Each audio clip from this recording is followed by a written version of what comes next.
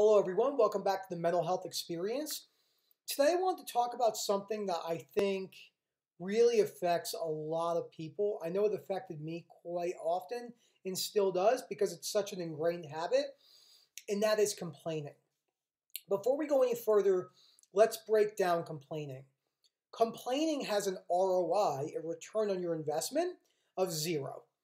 Complaining never gets anything accomplished, ever it might seem like it on the surface, you know, oh, if we complain enough about this or that, then society will. It's not, it's a false premise. Complaining is not the way to anything, especially good mental health.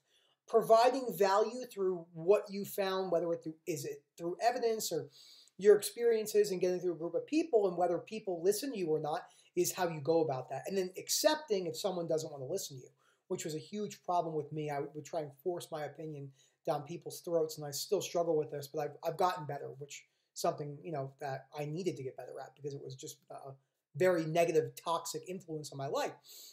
So you know whether you're uh, in a doctoral program or not, or whether you're complaining about anything in life, you know, no matter what the situation is, stepping back and realizing. Uh, if you've been complaining about something for a long time, has it gotten you anywhere? More than likely the answer is no. And even if it has gotten you somewhere, is it the healthiest and most optimal way to go about something in your life? Uh, why, why are people so obsessed with complaining? Well, when you think about what's going on in society, everywhere you look, there are people complaining.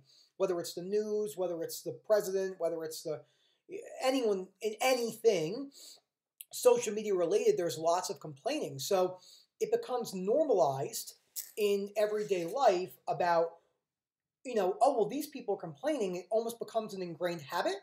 So when you've been complaining for so long, how I was, you never have to use any conscious awareness to look at the other side of the coin.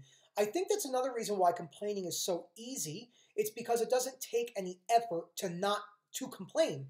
To not complain and sit back for a second maybe in a moment of silence and look at something and say, this is a little weird. Um, I don't like it, but is complaining giving me the best outcome potentially possible for my situation?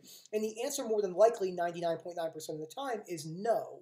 And this is something that I believe is a big problem, and it's getting worse. Um, more people are complaining. There's more things going on in life, um, more toxic situations, and so forth, where people are just complaining at a very rapid pace. I mean, people spend their whole entire day on social media complaining about this and complaining about that.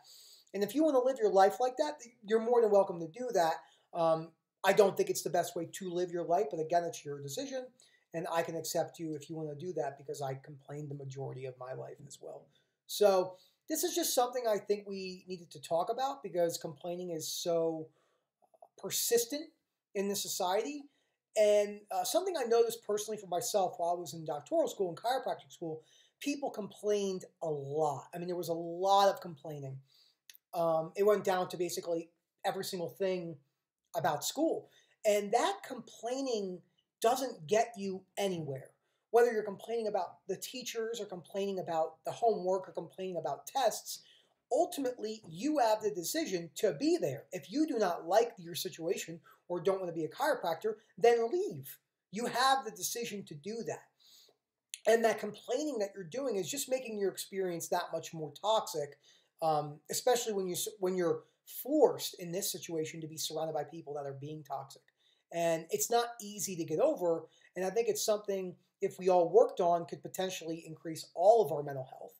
Uh, it's just something I believe is it's very important factor about life. And it was something I really noticed really took a detriment on my mental health uh, in school. So that's just one example for myself. Uh, again, you have to first have the self awareness to realize do you think you're complaining at a rate where it's you're doing it about everything? Is it affecting your life? And if so, how can you strategically go about that in order to start changing some habits when it comes to complaining. I uh, hope you guys really enjoyed this video. This is something very personal for me. Um, I really didn't enjoy how much I was complaining, and I've been working on this now for about six months, and uh, I still have a lot of work to do, and it's not easy. So if you think you complain a lot and you want to change, it's a hard journey, but you're not alone. So I hope you guys enjoy. Have a great day.